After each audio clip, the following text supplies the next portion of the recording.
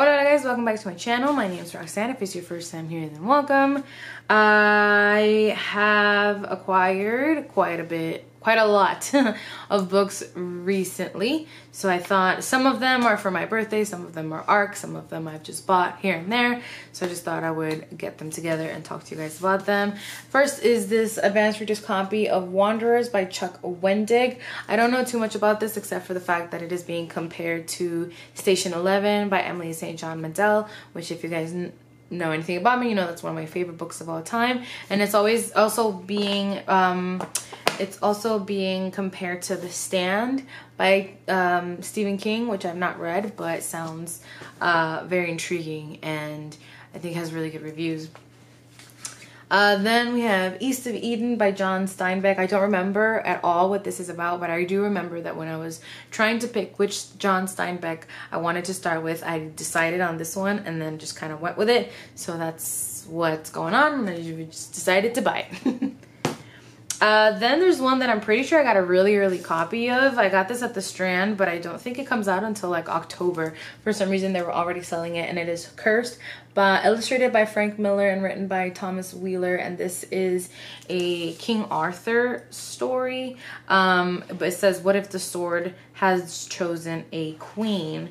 and it has illustrations inside which are very interesting and it's pretty chunky middle grade fantasy that I am very intrigued by.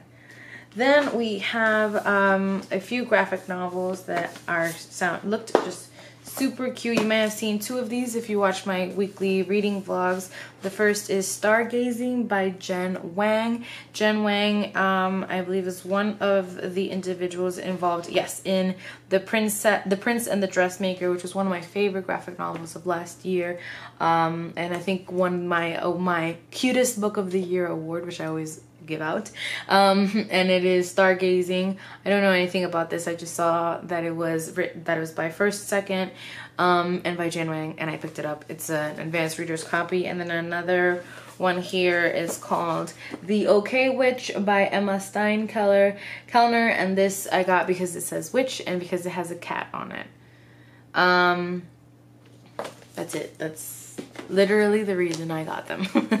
uh, or I picked them up. Those are advanced readers copies. I got them from the store that I work at. And then I have, I bought this one um, for my birthday for myself.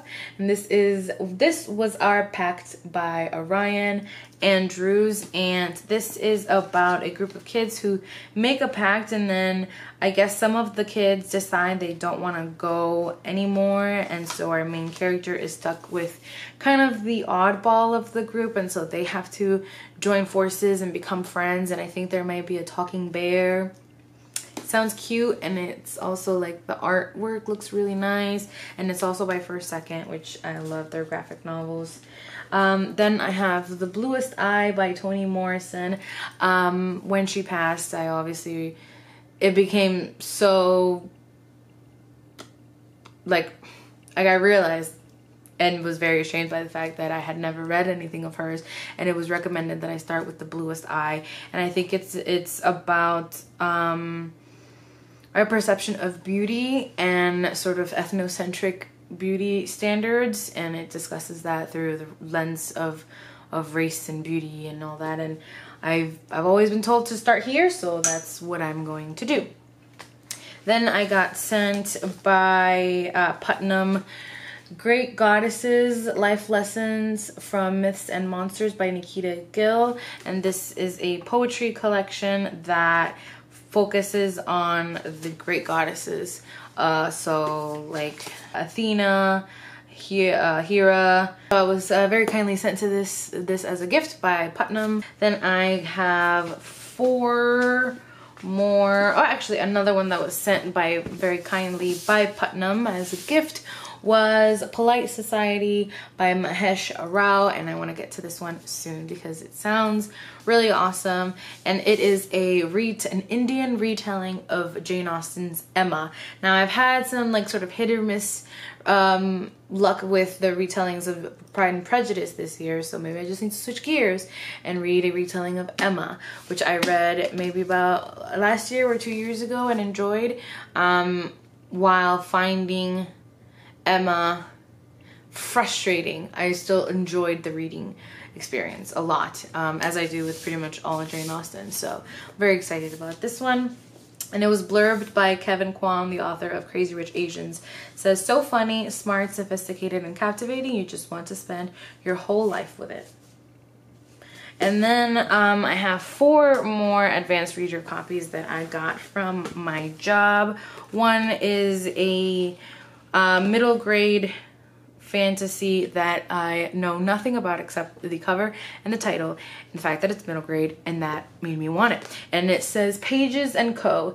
The Book Wanderers by Anna James. Now, it has a young girl with like um, a magnifying glass and one of those Sherlock Holmes hats um, and a cat and like a potion and then a bunch of books and it's called Book Wanderers. If you know anything about me, literally just looking at the cover should tell you that I would want to read this. And so, of course, um, I actually wasn't at work. I think I was on vacation when this came in and they put it aside just for me because they knew that I wanted it. So I got, I got to work and there was like, it was there as a surprise. It just said my name on it and I grabbed it. um, and then I have three that I have talked about in, um, again, it's my weekly reading vlogs and they are three contemporary romances, which you know I have been super in the mood for this year. And they are No Judgments by Meg Cabot, Don't Forget About Me by Ma Mhairi McFarlane, and The Stylist Takes Manhattan by Rosie Nixon. And if I'm not mistaken, these might all be set in New York. At least these two are. Okay, so this one's set in Florida, and these two I believe are set in New York. And they are Actually, no. I don't know where this one takes place. I don't know where this one takes place. But it was, um, it's been blurbed by Jenny Colgan, who is like the queen of cutesy contemporary, contemporary bookishy romances. Um, and I think all of these have something to do with like the life of our main character is not going as planned. And so she makes a drastic change to try and make her life better and then she falls in love and things get like even even better and that is cute and kind of what I am in the mood for a lot lately. I recently got from the Barnes & Noble book haul um, The Library of Lost and Found by Phaedra Patrick and this I don't know too much about it except for the fact that it's, it's been getting a lot of really good reviews by people that I that I watch and, and read and stuff online. Um, and it has library on the cover and on the title and books on the cover. So obviously I was going to pick it up. Um, but it's, I think, about our main character who is very, uh, very introverted and sort of only has books as her friends. Her great grandmother, her grandmother, Zelda, well, Lewis's favorite name, um, died but she gets a book with a dedication um, it from her grandmother that suggests that maybe she's still alive and so there's I guess there's mystery that she's trying to figure out. sounds really cute and like I would really appreciate it and enjoy it and then I have two cozy murder mysteries. I started, uh, I don't tend to buy a lot of them just because they take up a lot of space for such, such short quick reads but I obviously would like to own all of them at some point because I enjoy all the one a lot of the ones that I read. And so last Christmas, I started this series because it's Christmas themed and I love it.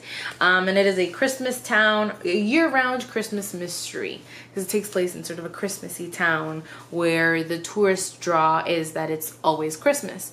Um, and I read numbers one and two um, for Christmas last year and so I guess I'm just getting ready for Christmas this year and I got um, Hark the Herald Angels Sleigh and Silent Night, Deadly Night, both by Vicki Delany.